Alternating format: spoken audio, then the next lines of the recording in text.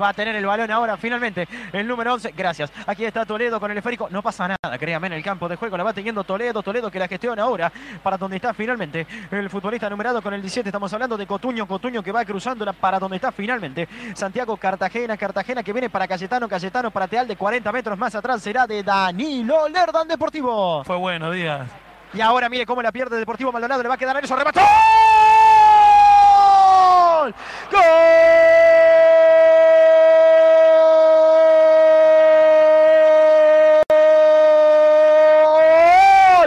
Peñarol, Matías Ares, una salida bastante negativa de Deportivo Maldonado Lerda que mandó un balón largo, le rebotó en la humanidad a su compañero Núñez y muy avisado. Carlos Sánchez le metió el balón entre líneas para que Arezo rematara de primera ante un descolocado Danilo Lerda, casi 30 minutos de este primer tiempo.